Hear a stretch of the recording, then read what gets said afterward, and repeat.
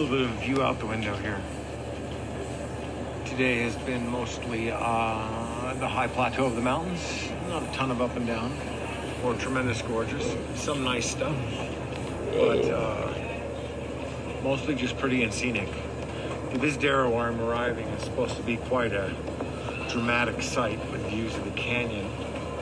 And uh, tonight's my big splurge. I was able to get a room even at high season here. Better take that away. That's gonna be rough. Uh, high season here, one night in one of the super deluxe places perched over the edge of the canyon. Pictures look amazing. We'll see.